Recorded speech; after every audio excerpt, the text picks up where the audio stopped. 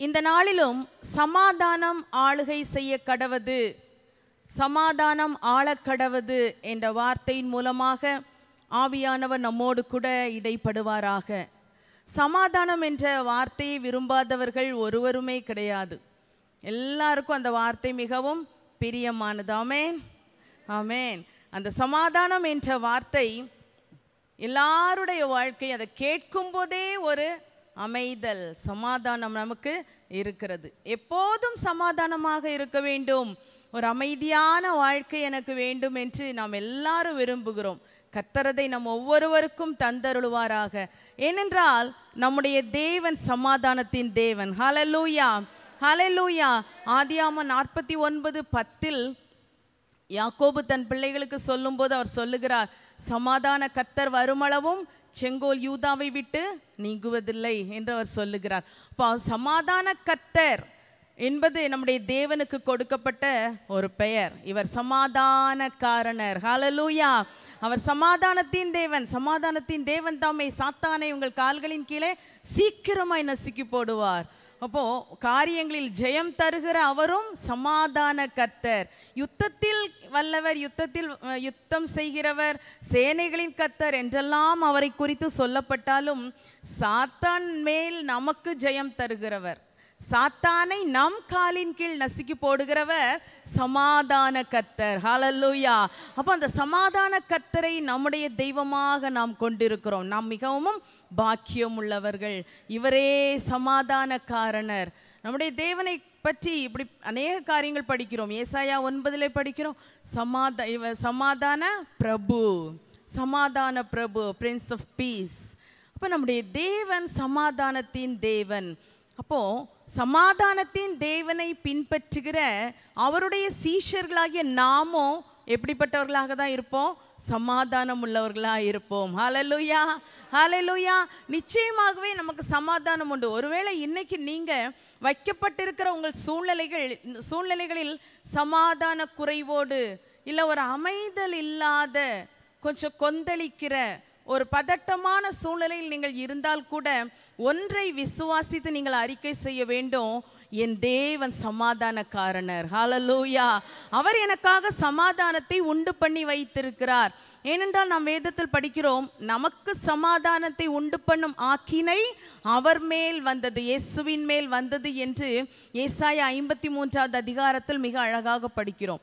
அது என்ன அர்த்தம்? அதை நல்ல ஆழமாக நம்ம சிந்தித்து பார்த்தோம் என்றால் நமக்கு சமாதானத்தை உண்டு பண்ணும் ஆக்கினை. அதாவது அவரை பின்பற்றுகிற அவருடைய பிள்ளைகளுக்கு அவருடைய இரத்தத்தினால் மீட்கப்பட்ட அவருடைய ஜனத்துக்கு சமாதானம் கொடுக்க வேண்டியது இயேசுவினுடைய ஒரு கடமை நம்முடைய வார்த்தையில் சொல்லப்போனால் இப்போ நாம் என்ன சொல்லுவோம்?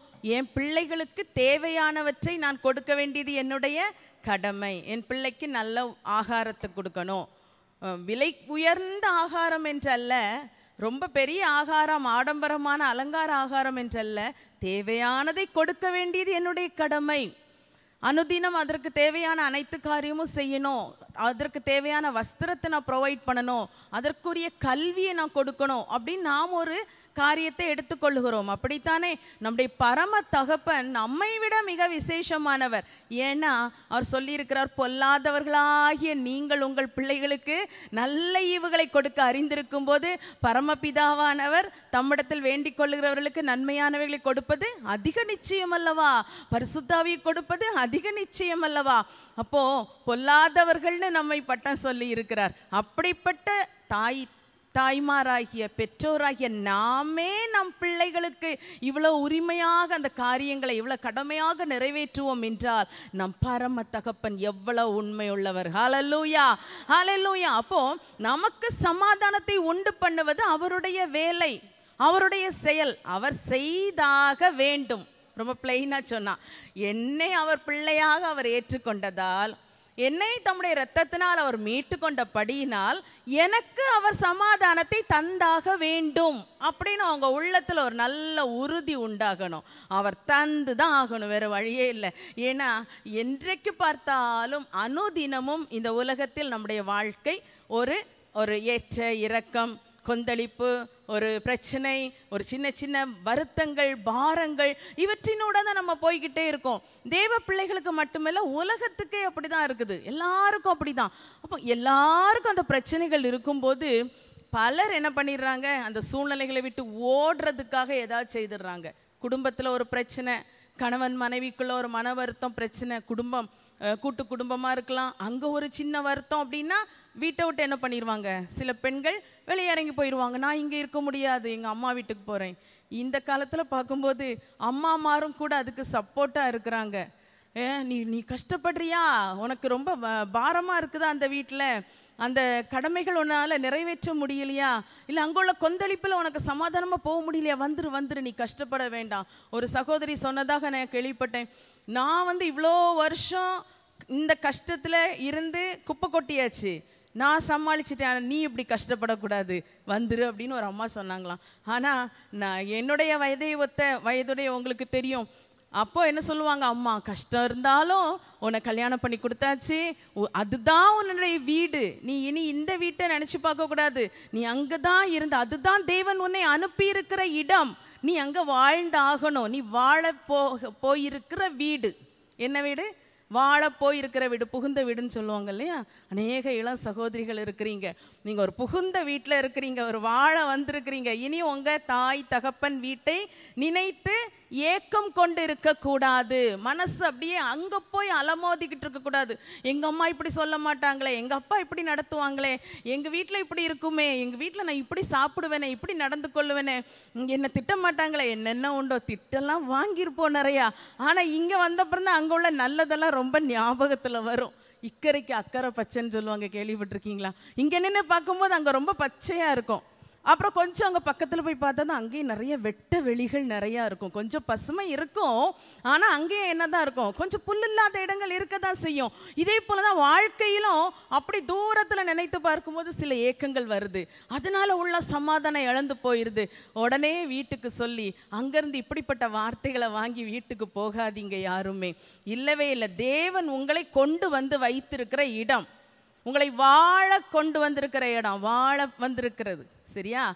வாழ்க்கை பெற்று வாழுவதற்காக ஒரு புருஷன் வீட்டில் வந்திருக்கிறோம். புருஷன் வீடு தான் நம்முடைய வீடு உங்களுடைய வீடு. அதை விட்டு அங்கங்கே யோசிக்கவே கூடாது. சரி. அப்போ இப்படிப்பட்ட நிலைமையில் உலகத்தாருக்கும் இருக்கிறது. அப்படி ஓடி போயிடுறாங்க அம்மா வீட்டுக்கு போயிடுறாங்க இல்லை தனியாக போயிடுறாங்க. சில வீட்டில் அம்மா வீட்டில் ஏற்றுக்க மாட்டாங்க சகோதரர்கள் குடும்பம் இருப்பாங்க இருப்பாங்க. உடனே இவங்க தனியாக வாழ்கிறதுக்காக வழிகளை தெரிந்து கொள்ளுகிறார்கள். இல்லவே இல்லை. தேவன் ஒரு நாளில் உங்களை தம்முடைய ஆலயத்தில் வைத்து அவருடைய நாம மகிமைக்காக அவருடைய சமூகத்தில் ஊழியர்கள் மூலம் உங்கள் பெற்றோர் உறவினர்கள் நண்பர்கள் முன்னிலையில் ஒரு நல்ல விவாகத்தை நடத்தி வைத்திருக்கிறார். தேவனே இணைத்திருக்கிறார். அப்போ இணைத்து தேவன் கொண்டு வந்திருக்கிறார். எவ்வளோ சந்தோஷமா பல கனவுகளோடு வந்திருப்பீங்க. சிலருக்கு ஆரம்ப நாள் முதலே சில பிரச்சனைகளை சம் மீட் பண்ணுறீங்க ஃபேஸ் பண்ணுறீங்க என்ன இருந்தாலும் தேவன் கொண்டு வந்திருக்கிறார் என்ற ஒன்றை மறந்து விட வேண்டாம். ஏனென்றால் ஒரு இருபது வருடங்களுக்கு முன்னால் இருந்த மனநிலைமை இப்போது ரொம்ப மாறிவிட்டது. பிள்ளைகளுடைய இருதயங்கள் ரொம்ப மாறிவிட்டது. அதற்கு பல காரியங்கள் சொன்னாலும் சத்தானுடைய கிரியை தான் அதில் முக்கியமான காரணம். நாம வேற காரணங்களை சொல்லி இந்த காலத்து பிள்ளைகள் இப்படி தான் இருப்பாங்க. இல்லை நாங்கள் இப்படி தான் இருப்போம் அப்படின்னு நீங்கள் நினைக்கக்கூடாது. தேவன் இணைத்திருக்கிறார். தேவன் இணைத்ததை மனுஷன் பிரிக்காதிருக்க கடவன். மட்டுமல்ல தேவன் உங்களை கொண்டு வந்து அந்த வீட்டில் நாட்டி இருக்கிறார். ஒரு விளக்காக ஒரு ஒளி கொடுக்கிற ஒரு நல்ல ஒரு வாழ்க்கையை உங்களுக்கு தந்திருக்கிறார். ஒரு குணசாலியான ஸ்திரீயாக கொண்டு வைத்திருக்கிறார். இரவு முழுவதிலும் கூட உங்கள் விளக்கு அணையாதிருக்க வேண்டும் என்று தேவன் எதிர்பார்த்து தான் அந்த வீட்டுக்கு கொண்டு வந்திருக்கிறார். எனவே அந்த வீட்டில் வெளிச்சம் கொடுக்கிறவர்களா இருங்கள். ஹாலல்லூயா ஹalleluya நம்முடைய செய்திக்குள்ளாக நாம் கடந்து வருவோம். எண்ணாகம புஸ்தகம் ஆறாவது அதிகாரம் இருபத்தி ஆறாவது வசனத்தில் மிக அழகாக ஒரு வார்த்தை சொல்லப்பட்டிருக்கிறது. எண்ணாகம புஸ்தகம் எடுத்துக்கொள்ளுவோம். எண்ணாகம புஸ்தகம் ஆறாவது அதிகாரம் அதனுடைய இருபத்தி ஆறாவது வசனம். கர்த்தர் மோசைக்கிட்ட சொல்றாரு நீ ஜனத்தை ஆசீர்வதிக்கும் போது அதற்காக நீ ஆரோனோட அவன் குமாரரோட என்ன சொல்லணும் அப்படின்னா நான் சொல்லுகிற அந்த வார்த்தைகளை சொல்லி நீர் அவர் நீ அவர்களை ஆசீர்வதிக்க சொல்லணும். அதுல ஒரு வார்த்தை தான் என்ன? இருபத்தி ஆறாவது வசனத்தில் கர்த்தர் தம்முடைய முகத்தை உண்மையில் பிரசன்னமாக்கி உனக்கு சமாதானம் கட்டளையிட கடவர். ஹாலலூயா ஹாலலூயா அப்போ சமாதானத்தை கொடுக்கிறவராக தம் ஜனத்துக்கு ஆசீர்வாதம் கொடுக்கும் போதெல்லாம் சொல்லுகிறார். அப்போ தேவ ஜனத்துக்கு எப்போதும் அந்த வார்த்தை கிடைக்குது. கத்தர் உனக்கு சமாதானம் தருவார். கத்தர் உனக்கு சமாதானம் தருவார். ஏன்னா நான் ஆரம்பத்திலே சொல்லிட்டேன் நம்முடைய தேவன் சமாதான பிரபு சமாதான காரணர் சமாதான கத்தர் சமாதானத்தின் தேவன். அவர்கிட்ட சமாதானம் முழுமையாய் நிரம்பி இருக்கிறபடியினால் அவர் எப்போதும் சமாதானம் கொடுக்கிறவராய் இருக்கிறார். ஹாலல்லூயா ஹாலல்லூயா இந்த தேவன் என்றென்றைக்கும் உள்ள சதா காலங்களிலும் நம்முடைய தேவன். அவர் என்னைக்கும் நம்மோடு கூட இருக்கிறார். எப்போதும் நம்மோடு இருக்கிறார் தேவ சமாதானத்தை தந்து நம்மோடு இருக்கிறார். ஹாலல்லூயா அவர் சொன்னாரே அவருடைய பிள்ளைகளுக்கு மத்திய இருபத்தெட்டு கடைசியில இதோ உலகத்தின் முடிவு பரியந்தம் சகல நாட்களிலும் நான் உங்களுடன் கூட இருக்கிறேன். அப்போ அவர் இருக்கிறவராக நம்மோடு கூட இருக்கிறார். மட்டுமல்ல நமக்குள் என்றைக்கும் தங்கி வாசமாயிருக்க பரிசுத்த ஆவியானவரை தந்திருக்கிறார். அந்த ஆவியானவர் நம்மை சமாதானத்துக்குள் காத்து கொள்ளுகிறவர் ஹாலல்லூயா ஹாலல்லூயா அப்போ நம்முடைய தேவன் சமாதானத்தின் தேவன். அப்போ அந்த சமாதானத்தின் தேவனுடைய பிள்ளைகளாகிய நாமும் எப்படி இருக்கணும்? சமாதானமாக இருக்கணும். எப்படி இருக்கணும்? சமாதானமாக இருக்க வேண்டும். ஹாலல்லூயா ஹாலல்லூயா பொதுவாகவே சகோதரிகளை பொறுத்தவரையிலே சமாதானமாய் அமைதலாய் இருப்பது என்பது மிக கடினமான காரியம். ஏனென்றால் அநேக பொறுப்பு நமக்கு உண்டு அநேக பாரம் நமக்கு உண்டு. சகோதரிகள் சிலர் சொல்லுகிறத நான் கேள்விப்பட்டிருக்கிறேன். அவருக்கு என்ன? அவருக்கு இதை பற்றி கவலையே இல்லை. நான் தான் இந்த பிள்ளைகளுடைய ஒவ்வொரு வளர்ச்சியின் அனுபவத்திலும் பார்த்து இதை செய்யணுமே இதை செய்யணுமே என்று சொல்லி நான் தான் இதற்கான முயற்சிகளை எடுத்துக்கொண்டே இருக்கிறேன் என்று சொல்லி சிலர் உண்மையாகவே அப்படி பிரயாசப்படுபவர்களும் உண்டு. சில பொறுப்பில்லாத பொறுப்பற்று இருக்கிற புருஷன்மாருடைய மனைவிகளுக்கு இப்படிப்பட்ட சூழ்நிலைகள் வருகிறது. ஆனால் எப்படி இருந்தாலும் நம் தேவன் சமாதானத்தின் தேவனாக இருக்கிறபடியினால் நாம் எல்லாம் நிறைவேற்றணும் எல்லா காரியமும் செய்ய வேண்டும் உண்மைதான். ஆனால் சமாதானமான முறையில் செய்ய வேண்டும். ஹாலல்லூயா செய்வது மட்டுமல்ல இருதயத்தில் எப்போது சமாதானம் இருக்க வேண்டும்? சமாதானம் குறைஞ்சு போச்சுன்னா என்ன ஒரு சமாதானம் இல்லைன்னா எப்பவும் ஒரு பதட்டம் இருந்து கொண்டே இருக்கும். ஒரு பயம் இருந்து கொண்டே இருக்கும். ஒரு கலக்கம் என்ன நடக்குமோ என்ன நடக்குமோன்னு ஒரு திகிலான எண்ணங்கள் சில நேரம் வரும். ச வருத்தங்கள் பாரங்கள் கவலைகள் இனி சில மனதை கெடுக்கிற பகை உணர்ச்சி கசப்புணர்ச்சி இவைகளெல்லாம் வந்து கொண்டே இருக்கும். இவைகளெல்லாம் மாறி ஒரு சமாதானம் இருக்க வேண்டும் என்று கத்தர் விரும்புகிறார். வேதாகமத்திலிருந்து ஒரு மூன்று காரியத்தை நம்ம தியானித்து நம்முடைய வாழ்க்கையிலும் அந்த சமாதானம் நிரம்பும்படியாக ஆண்டவர்ட்ட நம்ம கேட்க போகிறோம். ஒரு இல்லாமையிலும் சமாதானம் அப்படிங்கிறத முதல்ல பார்ப்போம். இல்லாமையிலும் சமாதானம். ரெண்டு ராஜாக்கள் நான்காவது அதிகாரத்தில் பதிமூன்றாம் வசனத்தில் அந்த அந்த பகுதியில் நாம் இதை குறித்து படிக்கிறோம். சூனேமியாள் இருந்தால் அந்த சூனேமியாள் இந்த எலிசா தீர்க்கதரிசியை நல்ல ஒரு தேவ மனுஷன் என்று அவர் பார்த்து அவருக்காக அவள் வீட்டிலே ஒரு மாடியில் ஒரு ரூம்லாம் ரெடி பண்ணி கொடுத்து அப்படி அந்த தீர்க்கதரிசி அங்கே வந்து தங்கி போகிறது வழக்கம். இவளுடைய அந்த கே- கார் அவருடைய கிரியைகள் இதையெல்லாம் பார்த்த அந்த தீர்க்கதரிசி ஒரு நாள் கேட்குறாரு உனக்கு என்ன வேணும்? உனக்கு ராஜா கிட்டையாவது சேனாபதிகிட்டையாவது ஏதாவது பேசணுமா? அப்படின்னு கேட்குறார் இவளிடத்துல கேட்கும்போது இவ சொன்ன அந்த பதில் மிகவும் ஒரு அழகான ஒரு பதில் சொல்கிற ஆச்சரியமான ஒரு பதில். இந்த சகோதரி சொல்லுவதை தான் நாம் இந்த பதிமூன்றாவது வசனத்திலே வாசிக்கிறோம். அவன் கேயாசி அவன் கேயாசியை பார்த்து இதோ இப்படிப்பட்ட சகல சலக்கரணையோடும் எங்களை விசாரித்து வருகிறாயே உனக்கு நான் என்ன உனக்கு நான் என்ன செய்ய வேண்டும்? ராஜாவினிடத்திலாவது சேனாபதியினிடத்திலாவது உனக்காக நான் பேச வேண்டிய காரியம் உண்டோ?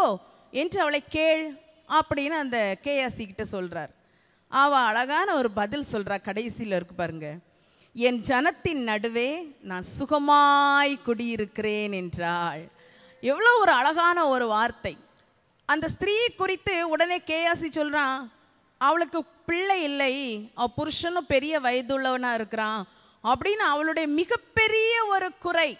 அவளுக்கு மிகப்பெரிய ஒரு குறைவாக இருந்ததை அவன் கண்டுபிடிச்சு சொல்கிறான் ஆனால் அந்த ஸ்திரீயினுடைய பதிலை பார்த்தீங்களா? அவன் சொல்றது என் ஜனத்தின் நடுவே நான் சுகமாய் குடியிருக்கிறேன் சுகமாய் குடியிருக்கிறேன். ஆங்கில வேதாகமத்தில் மிக அழகாக விளக்கம் போட்டிருக்குது.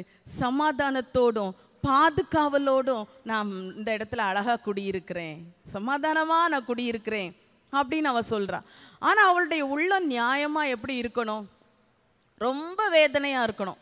எனக்கு வயதாகிக்கிட்டே போகுதே எனக்கு ஒரு குழந்தை இல்லையே இந்த ஆசீர்வாதம் எனக்கு இல்லையே எனக்கு எல்லா வசதிகளும் நன்மைகளும் இருக்கிறதே இனி எங்களுக்கு பிறகு யாரு? எனக்கு ஒரு பிள்ளை இல்லையே. என்றெல்லாம் அவள் எவ்வளவோ வேதனைப்பட்டிருக்கலாம். எத்தனையோ குடும்பங்கள் எல்லாரும் சந்தோஷமா இருக்கும்போது என் வீட்டில் ஒரு குழந்தை ஓடி விளையாடலையே. எனக்கு அந்த ஆசீர்வாதம் இல்லையேன்னு பல வருத்தம் அவளுக்குள்ள இருந்திருக்கும். இருந்திருக்கணும் நியாயமா. ஆனா அவளுடைய கேள் அவருடைய கேள்விக்கு அவள் பதில் சொல்லும்போது நான் ரொம்ப சமாதானமா இருக்கிறேன் சுகமா இருக்கிறேன் அமைதியா இருக்கிறேன் பாதுகாவலா இருக்கிறேன்னு ஈஸியா உடனே சொல்லிட்டா. பொதுவா யாராவது ஒரு கேள்வி கேட்கும்போது நான் பதில் சொல்லுவோம் அப்படின்னா உடனே சொல்கிற பதில் என்னவா இருக்கும் நிச்சயமா? உள்ளத்தில் என்ன இருக்குதோ. ஒருவேளை கோபம் இருந்துச்சுன்னா அந்த கோபத்தின் வார்த்தை ஒன்று ஒருவேளை டைரெக்டாக கோபப்படாட்டி கூட கொஞ்சம் அப்படி அந்த கோபம் லைட்டாக வெளிப்படுற மாதிரி ஒரு வார்த்தையை பேசிடுவோம் ஏன்னா ஒரு வாய்ப்பு கிடைச்சிருச்சுல்ல. அவங்களே தானே கேட்டாங்க நானே போய் சொல்லலையே. எனக்கு ஒரு வாய்ப்பு கிடச்சிது அதனால் அதை நான் சொல்லி காட்டிட்டேன். ஏதோ ஒன்று சொல்லி காட்டிடுவோம் இல்லையா? அப்போ நம்முடைய உள்ளம் எதனால் நிறைந்திருக்கிறது? இவளை குறித்த வரையில் அவர் வந்து அந்த ஆசீர்வாதத்தை வாக்கு பண்ணும்போதும் இவ சொல்லிட்டா அபத்தமானதை சொல்ல வேண்டாம் நீங்கள் பொய் சொல்ல வேண்டாம் வேண்டாம் அந்த வார்த்தையை சொல்ல வேண்டாம் அப்படின்னு அவள் சொல்கிறா நான் நான் ஏமாந்துடக்கூடாது அதனுடைய விளக்கம் பார்த்து அந்த வார்த்தைகளெல்லாம் வருகிறது. அப்படி தான் அவள் வார்த்தை சொன்னா. அப்போ அவளுடைய உள்ளத்தில் என்ன முடிவு கட்டிட்டா? இனி எனக்கு இந்த ஆசீர்வாதம் இல்லை. இது எனக்கு இனி கிடைக்காது. ஏன்னா கேஎஸ்சி சொல்கிறான் அவள் அவன் புருஷன் பெரிய வயதுள்ளவன். இவளும் நினச்சிருப்பா சரி எனக்கு இல்லைல்ல இனி இல்லை. அப்படிங்கிற ஒரு எண்ணம். ஆனா அது விரக்தியாக கூட அவள் வெளிக்காட்டவில்லை. இவர் கேட்ட கேள்விக்கு நான் என் ஜனத்தின் நடுவிலே சுகமாய் குடியிருக்கிறேன் சமாதானத்தோடு இருக்கிறேன் என்று சொல்லிவிட்டாள். அன்பான தேவ பிள்ளைகளே சில நேரத்திலே இந்த பதில் இந்த சுனேமியாளுக்கு ஒருவேளை அவளுக்கு இல்லை இனி கிடையாது இதுக்காக நான் இனி ஆசைப்படக்கூடாது என்ற ஒரு எண்ணம் முடிவு கட்டப்பட்ட எண்ணத்தோட சொன்னாளா என்று தெரியவில்லை. ஆனால் தேவ பிள்ளைகளுடைய வாழ்க்கையில அந்த மாதிரிப்பட்ட விரக்தியான எண்ணத்தோடு இனி எனக்கு ஒன்றும் இல்லை. இனி வாழ்க்கையில இப்படியே வாழ்ந்து வாழ்ந்து வாழ்ந்து நான் கண்ணை மூட வேண்டியதுதான். இல்லைன்னா இப்படியே ஆண்டோடைய வருகை வர நான் கஷ்டப்பட வேண்டியதான் இதுதான் என்னுடைய வாழ்க்கை. இனி இதில் நான் ஒன்றும் யோசிக்கிறதுக்கு இல்லை. அப்படின்னு நினச்சி நீங்கள் யாராவது உங்கள் வாழ்க்கையில் உள்ள இல்லாமை சுகமில்லை பணமில்லை பலன் இல்லை உறவுகளில் ஆரோக்கியம் இல்லை நன்மை இல்லை என்ற ஒரு பல இல்லைகள் இருக்கிறது வாழ்க்கையில. அப்படி ஏதோ ஒரு இல்லை என்பது உங்களுக்கு உங்க வாழ்க்கையில இருந்துச்சுன்னா அதை குறித்து விரக்தியா இருக்கிறீங்களா? விரக்தினா இனி ஒரு வெறுப்பான எண்ணம். ச இனி அதை பற்றி நான் ஏன் நினைக்க போறேன்? இனி எல்லாம் எனக்கு அது கிடைக்காது. எல்லாம் முடிந்தாது அதுக்குள்ள காலமெல்லாம் கடந்து விட்டது. இனி அதை பற்றி நான் யோசிக்க கூடாது. அதுக்குள்ள வயதெல்லாம் எனக்கு தாண்டியாச்சு. அப்படி நீங்க நினைக்கீங்களா? இல்ல சுனேமியாளை போல நீங்க அப்படி ஒருவேளை நினைச்சிருந்தா கூட இன்னைக்கு தேவன் உங்க வாழ்க்கையில அந்த சுனேமியாளுக்கு கொடுத்தது போன்ற ஆசீர்வாதத்தை கொடுக்க சித்தமா இருக்கிறார் ஹலலூயா விசுவாசித்தால் நீங்கள் பெற்றுக்கொள்ளுவீர்கள். அதை ஏற்றுக்கொள்ளுங்க. இவ உடனே அதை மறுத்தா ஆனாலும் அவர் சொல்லும்போது அதுக்கப்புறம் அதுக்கப்புறம் அவர்கிட்ட ஒன்றும் வாதாடி நிற்கவில்லை. ஆனால் அவளுக்கு நிச்சயமா கத்தர் அந்த வாக்குத்தத்தத்தின்படி ஆசீர்வாதத்தை கொடுத்தார். அவர் அவள் பெற்றெடுத்தாள். அதுக்கப்புறம் அவளுடைய வாழ்க்கையில பார்த்தோன்னா அந்த பையன் அறுப்பறுக்கிற நேரத்தில் அறுவடை காலத்தில் அப்பா கிட்ட நின்றுட்டு இருந்தான் இருக்கும்போது திடீர்னு சொன்னா எனக்கு தலை வலிக்குது தலை நோகுது தலை நோகுதுன்னு சொல்லியிருக்கிறான். உடனே அவங்க அப்பா அந்த அம்மாட்ட அனுப்புனாங்க. கொஞ்ச நேரத்தில் பையன் செத்து போயிட்டான். செத்து போன உடனே இவன் இவா அப்பவும் இவன் செய்கிறத பாருங்க பக்கத்தில் யாருக்கிட்டையும் சொல்லலை. அவ ஒரு வேலைக்காரனை கூட்டிட்டு தீர்க்கதரிசியை சந்திக்கிறதுக்கு பர்வதத்துக்கு போகிறான் இந்த பையனை அந்த ரூம்ல கொண்டு வச்சு பூட்டி வச்சுட்டு அந்த மறித்த அந்த சரீரத்தை வைத்து கொண்டு தேவ மனுஷனிடத்தில் ஓடுகிறாள். ஹாலல்லூயா ஹாலல்லூயா அங்க போயும் கேட்குறா நீங்க அபத்தம் சொல்ல வேண்டாம் நீங்க இப்படி எனக்கு சொல்ல வேண்டாம். என்னுடைய எனக்கு ஒரு நம்பிக்கையை தூண்டிவிட்டு அந்த ஒரு எதிர்பார்ப்பை உண்டாக்கி அதை இடித்து போட வேண்டாம். அது போயிட வேண்டாம்னு நான் சொன்னனே அது வேண்டான்னு சொன்னனே. ஆனால் கொடுத்தீங்க இன்னைக்கு எனக்கு பெரிய வருத்தமாக இருக்குது. அப்போது எனக்கு தான் அவள் இல்லைன்னு நான் இருந்தேனே. இது ஏதோ கிடைச்சிது இது ஏதோ போச்சுது. அப்படி அவன் நினைக்கவே இல்லை. கிடைத்த பிறகு அதில் ரொம்ப அதில் ரொம்ப கரெக்டாக உறுதியாக இது கர்த்தர் எனக்கு கொடுத்தார் இதை எனக்கு ஆசீர்வதித்து தரணும். இன்னைக்கு சில பெற்றோர் சில தாய்மார் சொல்கிறத நீங்கள் கேட்டிருப்பீங்கன்னு நினைக்கிறேன். என்னிடத்துல சிலர் அப்படி பகிர்ந்து கொண்டிருக்கிறாங்க. நான் ஏன் தான் இப்படி ஒரு பிள்ளையை கேட்டனோ ஆண்டவரிடத்துல? குழந்தை இல்லை குழந்தை இல்லைன்னு சில வருஷங்கள் அழுது பெற்றெடுத்து ஐந்து வருஷம் ஒரு தாயா இருக்கு ஐந்து வருஷம் கழித்து கத்தரவளுக்கு ஒரு பிள்ளையை கொடுத்தார்.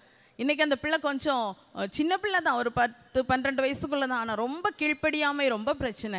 உடனே அவளுடைய மனதில் பெரிய வேதனை. பிள்ளை இல்லாத காலத்தில் குழந்தை வேணும் வேணும் வேணும் நான் அழுது ஆண்டோ சமூகத்தில் கேட்டு வாங்கி இப்போ இப்படிப்பட்ட வேதனையா இருக்கிறதே? நீ கேட்டு வாங்கினதுனால தான் இந்த வேதனைன்னு புருஷன் வேற சொல்லுவாராம் அவ்வளோ ஒரு வேதனையான ஒரு சூழ்நிலைக்குள்ளாக சிலர் இருக்கிறார்கள். ஒருவேளை நீங்க யாராவது அப்படி இருந்தீங்கன்னா இன்னைக்கு அந்த எண்ணத்தை விட்டுருங்க. நீங்க ஒருவேளை ஆசைப்பட்டீங்களோ படலையோ கேட்டீங்களோ கேட்கலையோ ஒரு குடும்பத்திற்கான பெரிய ஒரு ஆசீர்வாதத்தை ஒரு கிஃப்ட் ஒரு பரிசு ஒரு ஈவு பிள்ளைகள் கத்தரால் வரும் சுதந்திரம் கற்பத்தின் கனி அவரால் கிடைக்கும் பலன். அந்த பலனை சுதந்திரத்தை ஈவை தேவன் உங்களுக்கு தந்திருக்கிறார். ஒருவேளை அந்த ஈவு சற்று மனதை உங்களுக்கு வேதனைப்படுத்துகிற மாதிரி இக்காலத்தில் இருக்கலாம். உடனே ஐயோ அந்த பிள்ளை எனக்கு வேண்டாம். ஆண்டவரே இதை நீர் ஏதாவது பண்ணிடும் இப்படி எனக்கு ஒரு பிள்ளையே வேண்டாம். சிலர் மனசில் நினைக்காட்டியும் வாயில சில சூழ்நிலைகளில் சொல்லிடுறாங்க அந்த மாதிரி சொல்லாதீர்கள். அந்த மாதிரிப்பட்ட எண்ணம் வரக்கூடாது. அன்னைக்கு சுனேமியாள் ஓடி போனா அது ஏதோ முடிஞ்சு போச்சு இனி அதை வந்து அடக்கம் பண்ணிடுவோன்னு அவ நினைக்கல. விட்டு கொடுக்கவே இல்லை. ஹாலலூயா இன்னைக்கு நீங்க மனதில் உங்க பிள்ளைகளை விட்டு கொடுக்காத வரைக்கும் சாத்தான் அவைகளை முற்றிலுமாய் பறித்து நாசம் பண்ணவே முடியாது. சிலர் மனம் தளர்ந்து போகிறீர்கள். ஆபத்து காலத்தில் சோர்ந்து போவாயானால் உன் பலன் குறுகினது சகோதரியே. ஆபத்து நேரத்திலே கடுமையான நேரத்திலே கஷ்டமான வேலைகளிலே வாய் தவறி கூட தவறான வார்த்தைகளை அறிக்கை செய்ய வேண்டாம். பிள்ளைகளை சபிப்பது போன்ற வார்த்தைகளை பேசாதிருங்கள். கர்த்தருடைய கரத்திலே மறுபடி கொடுங்க. நீங்க தான்ப்பா கொடுத்தீங்க. நான் கேட்கல ஆனா நீங்க கொடுத்தீங்க. நான் ரொம்ப உங்ககிட்ட கேட்டேன். நீங்க என் விண்ணப்பத்துக்கு செவி கொடுத்து எனக்கு தந்தீங்க. ஏன் ஒரு சாமுவேலை கொடுத்து தேவன் பெரிய மனுஷனாய் அவரை மாற்றவில்லையா? அந்நாள் கேட்டுதானே கொடுத்தார். அவள் எப்படி அழுத ஆலயத்துல போய் எனக்கு ஒரு ஆண் பிள்ளையை தாரும் என்று கேட்டாள? சில வீடுகளில் சொல்லுவாங்க வரிசையா பெண் பிள்ளையா இருக்குதேன்னு ஒரு ஆண் பிள்ளைக்காக அழுது ஜெபித்தேன் ஆண்டவர் தந்தார். ஆனா என் பொம்பளை பிள்ளைலாம் நல்ல பிள்ளைகளா இருக்கிறாங்க. இந்த பையனை என்னால் சமாளிக்கவே முடியலையேன்னு வருத்தப்படுறாங்க. அப்படி இருக்கிறீங்களா? அதுக்காக ஆண்டவர்கிட்ட கேளுங்க. வாயினால் சபிக்காதிருங்கள். தவறான வார்த்தைகளை அறிக்கை பண்ணாதிருங்கள். ஆண்டவர்கிட்டே விண்ணப்பி விண்ணப்பிக்கும் போது ஆண்டவர் அந்த பையனை மறுபடி உயிர்ப்பித்து ஆண்டவருடைய சாட்சியாக நிறுத்துவார். ஹாலல்லூயா உங்க கண்ணீரை தொடச்சி உங்களோட இருந்து உங்களை அருமையா வழ நடத்துகிற உங்களுக்கு பலனா இருக்கிற ஒரு மகனாக அவனை மாற்றி தருவார். ஹாலல்லூயா ஹாலல்லூயா இந்த சூனேமியாள் அந்த இல்லாமையில் அவள் அப்படி இருந்தா ஆனா கிடைத்த பிறகு நல்ல அந்த காரியத்தை உறுதியா இருந்தா.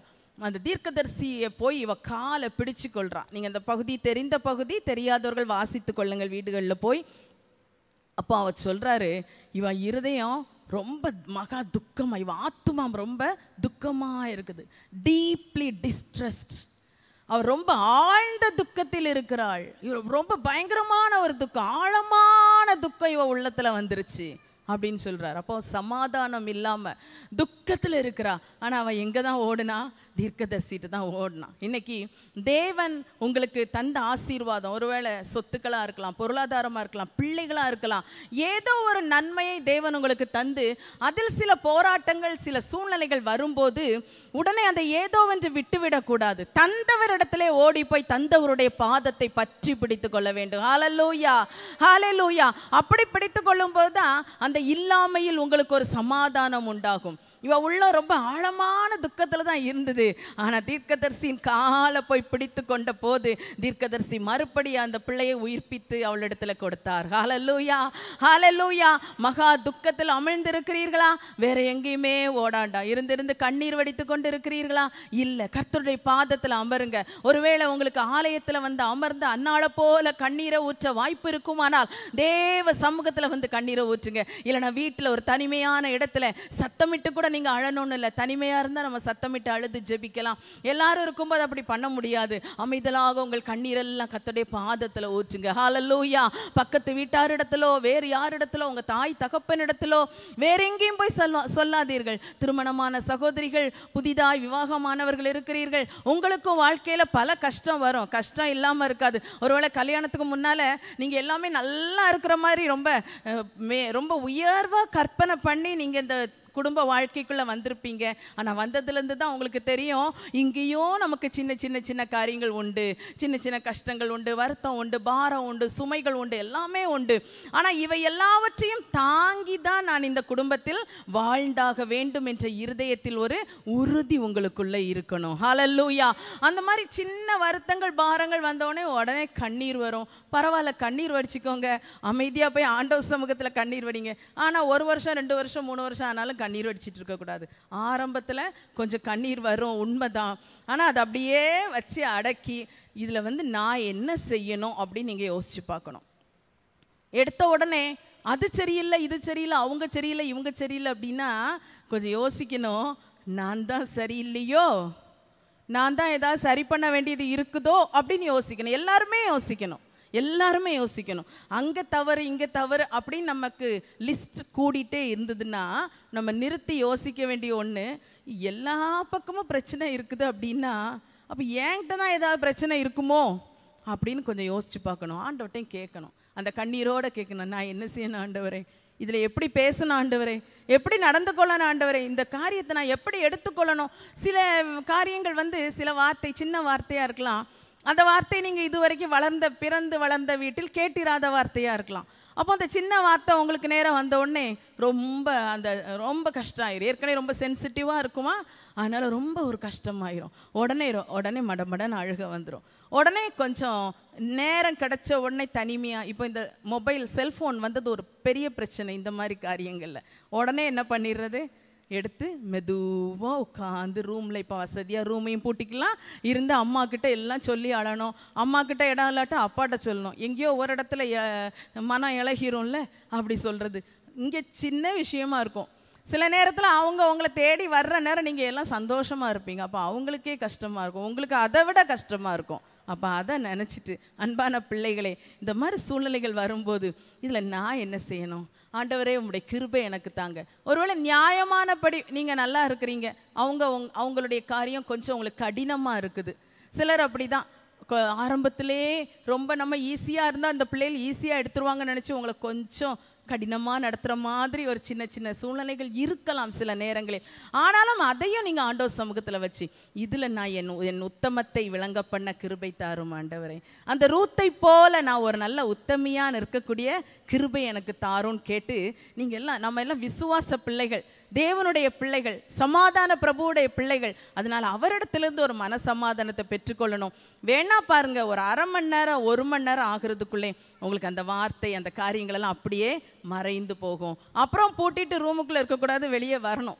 வெளியே வந்து சகஜமா எல்லாரோட அப்படி பழகி எடுத்து பேசி நல்லா இருக்கணும். அப்படி அப்படி இருக்கும்போது தான் நம்முடைய குடும்பங்கள் நம்முடைய வாழ்க்கை ஒரு சமாதானம் உள்ளதாக இருக்கும். என்னைக்கு உங்களுக்கு நல்ல பேர் இருக்கும் அந்த கிருபை ஆண்டவர் உங்களுக்கு தருவாராக. அப்போ இந்த சூனைமியாள் ஓடி போனா அவ டீப்லி டிஸ்ட்ரெஸ்ட் அதாவது ஆ- ஆழமான மிக பயங்கரமான ஒரு துக்கத்துக்குள் வேதனைக்குள் இருந்தால் உண்மைதான். அப்போ உள்ள எவ்வளோ அங்கலாய்ப்பா இருந்திருக்கும். ஆனா அவ எவ்வளோ ஒரு கட்டுப்பாடு உள்ள பெண்மணி யார்கிட்டையும் சொல்ல. அனுப்பிவிட்ட புருஷன்கிட்ட கூட கேட்கல அவனுக்கு என்ன என்ன பண்ணீங்க? என்ன என்ன ஆச்சுது? வந்து இப்படி இறந்து போனா அப்படி கூட யாரையும் ப்ளேம் பண்ணவோ வருத்தப்படவோ ஒண்ணுமே செய்யல. ஒருவருக்கும் அறிவிக்கல. அவ்வளோ அழகாக அழகா ஒரு இடமும் நிக்காம போய் தீர்க்கதரிசியின் பாதத்தை பிடித்து கொண்டாள். இன்றைக்கு கர்த்தர் அதை தான் எதிர்பார்க்கிறார். எந்த இல்லாமைக்குள்ளாக நீங்கள் இருக்கிறீர்கள்? எதனால் நீங்கள் கஷ்டப்படுகிறீர்கள்? ஒருவேளை உங்கள் பொருளாதார சிதைவுக்கு உங்கள் வீட்டில் உள்ள யாரோ இல்லை உங்கள் பிள்ளையோ உங்கள் புருஷனோ காரணமாக இருக்கலாம். ஆனால் அவங்கள குற்றம் சாட்டிட்டே இருந்தீங்கன்னா உங்கள் பொருளாதாரம் என்னைக்கு மேலே வரப்போகுது? இப்படி ஒரு தவறான முடிவு எடுத்தது அவர் எடுத்துட்டதுனால நானும் சேர்ந்து கஷ்டப்படுறேன். நாங்களும் ரொம்ப சாப்பாட்டுக்கே கஷ்டப்படுறோம். எவ்வளோ குறைவுக்குள்ளே இருக்கிறோம் அப்படின்னு நீங்கள் நினைக்கிறீங்களா? அது அப்படியே ஆண்டவர்கிட்ட கொண்டு போங்க. உங்களை இணைத்தவர் கர்த்தர் அல்லவா? இந்த குடும்பத்தில் உங்களை ஒரு மனைவியாக கொண்டு வந்தது கர்த்தர் அல்லவா? அப்போ அவருடைய பாதத்தை போய் பிடித்து கொள்வோம் அவர் தந்த ஆசீர்வாதம். நீர் எனக்கு தந்த குடும்பம் ஆண்டவரே. நீர் எனக்கு தந்த வாழ்க்கை. நீர் எனக்கு தந்த ஆசீர்வாதம். ஆனால் இப்போ நாங்கள் ஒரு பொருளாதார சிக்கலுக்குள்ளே மாட்டி இருக்கிறோம் ஒரு உறவில் எங்களுக்குள்ள ஒரு விரிசல் இருக்குது. ஒரு பிரச்சனை மன வருத்தம் இருக்குது. பாரம் இருக்கிறது.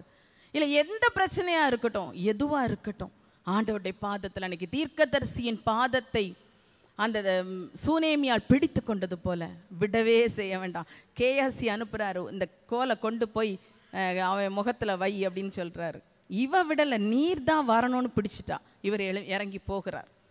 தேவன் நமக்காக இப்படியே கிரியை செய்வார். ஹாலலூயா ஹாலலூயா நம்ம எந்த அளவுக்கு பிடிக்கிறோமோ அந்த அளவுக்கு தான் தேவனுடைய கிரியையை காண முடியும். அப்போ இல்லாமையில் சமாதானமா இருக்கிறது எப்படி அப்படின்னா முதல்ல அவளுக்கு ஒரு சமாதானம் இருந்தது. என்ன? இனி எனக்கு இல்லை. இனி நான் இதை பற்றி யோசிக்க வேண்டாம். சிலர் அந்த மாதிரி தவறாக இல்லாவிட்டாலும் சரி கத்தர் எனக்கு இதை தரவில்லை. இதை எனக்கு வைக்கவில்லை. இது எனக்கு வேண்டாம் என்ற ஒரு எண்ணம் சில காரியங்களில். அப்படி சமாதானமாக இருக்கலாம். இன்னொரு சமாதானம் தான் அடுத்த பகுதி. அவள் கொடுத்து அவள் இழந்து போனால் அந்த இழந்து போன நேரத்தில் ஓடி போய் அவருடைய பாதத்தை பற்றி கொண்டாள் அந்த சமாதானத்தை பெற்றுக்கொண்டாள். ஹாலல்லூயா அப்ப சமாதானம் இல்லாத சூழ்நிலை இல்லாமையினால் வருகிற அந்த சமாதான குறைவு நேரத்தில் ஆண்டவருடைய பாதத்தை பற்றி பிடிக்கும் போது நமக்கு ஒரு பெரிய சமாதானம் கிடைக்கும். ஹாலல்லூயா ஹாலல்லூயா தீர்க்கதரிசியை தேடி அவள் போகும்போதே அவளுக்குள்ள ஒரு சமாதானம் நிச்சயமா இருந்திருக்கும். இல்லாவிட்டா வழி வழியா சொல்லுவாள் இதுக்காக்கும் நான் போகிறேன். இந்த பிள்ளைகளுடைய சூழ்நிலை இதுக்காக நான் போகிறேன். அப்போ எத்தனையோ மணி நேரம் அங்கே வேஸ்ட் ஆகிருக்கு இவள் உள்ளமும் ரொம்ப வேதனைப்பட்டு கொந்தளிச்சிருக்கும். இவன் மனம் ரொம்ப ஒரு பேதளித்தவளாக பேதலித்தவளாக போயிருப்பா. ஆனால் இவன் நேர ஆண்டவர் பாதத்து அந்த தீர்க்கதரிசி இருக்க இடத்துக்கு போனா. இன்னைக்கு நாம் கத்தரை தேடி வேறு எங்கும் ஓட வேண்டியதில்லை.